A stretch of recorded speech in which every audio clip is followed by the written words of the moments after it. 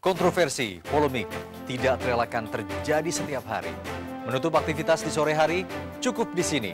Mencari solusi tanpa sensasi. Karena kami yang pertama dan tetap.